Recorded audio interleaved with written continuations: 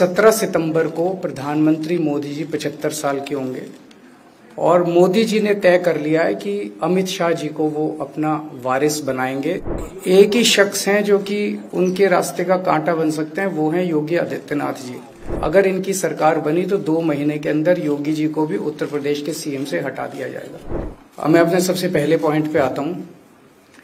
जब 2014 में प्रधानमंत्री बने थे नरेंद्र मोदी जी तो उन्होंने खुद एक रूल बनाया था कि भारतीय जनता पार्टी के अंदर और उनकी सरकारों में 75 वर्ष से ऊपर कोई भी व्यक्ति होगा तो उसको संगठन में और सरकार में किसी भी पद पे नहीं रखा जाएगा, उसको रिटायर कर दिया जाएगा।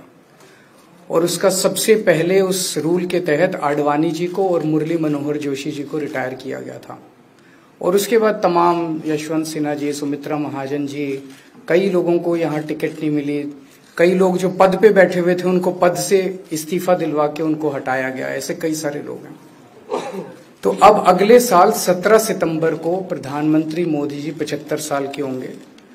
और मोदी जी ने तय कर लिया है कि अमित शाह जी को वो अपना वारिस बनाएँगे और अमित शाह जी अगले साल 17 सितंबर को देश के प्रधानमंत्री बनाने का उन्होंने तय किया है मोदी जी ने। इसके ऊपर मोदी जी पिछले एक दो साल से लगे भी हुए हैं, क्योंकि भारतीय जनता पार्टी के अंदर अमित शाह जी के सामने जो जो बाधाएँ पैदा कर सकता था नेता एक एक करके उन सब नेताओं को साइड कर दिया गया, उनका पत्ता साफ़ कर दिया गया।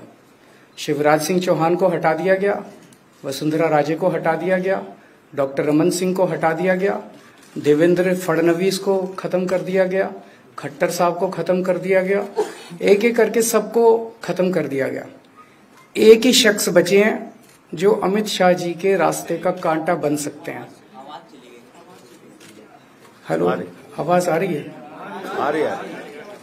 एक ही ठीक है आ रही है। एक ही शख्स हैं जो कि उनके रास्ते का कांटा बन सकते हैं, वो हैं योगी आदित्यनाथ जी।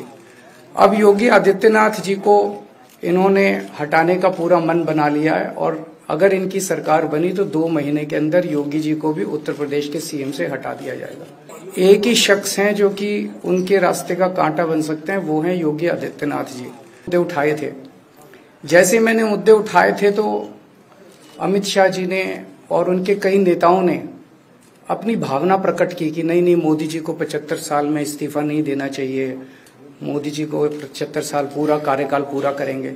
उन सब की भावनाओं की मैं कद्र करता हूँ, क्योंकि अपने नेता के लिए जब भी ऐसी बात होती है तो सब लोग सामने आके बात करते हैं। लेकिन बड़ी बात यह है कि मोदी जी ने ऐसा नहीं कहा कि मैं पचहत्तर साल पे इस्तीफा नहीं दूँगा, मैं रिटायर नहीं होऊँगा।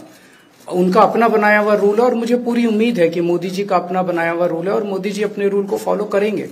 नहीं तो लोग कहेंगे कि मोदी जी ने ये रूल आडवाणी जी को हटाने के लिए बनाया था, जब अपनी बारी आई तो नहीं। तो मोदी जी इस रूल का फॉलो करेंगे? ये पूरा यकीन है देश के लोगों को कि उन्होंने खुद रूल बनाया तो खुद फॉलो करेंगे। दूसरी बड़ी बात जो हुई कि जब मैंने कहा कि योगी आदित्यनाथ जी को दो महीने में हटा दिया जाएगा, इस पे अभी तक भाजपा के किसी नेता की टिप्पणी नहीं आई है। चार दिन हो गए। इसका मतलब ये तो कंफर्म करता है कि उन्होंने पूरी प्लानिंग कर ली है और उनके पक्ष में कोई बोलने के लिए तैयार नहीं है योगी आदित्यनाथ जी के। तो उनका हटना अब लगभग तय है कि योगी आदित्यनाथ जी को उत्तर प्रदेश के सीएम पद से हटाया जाएगा।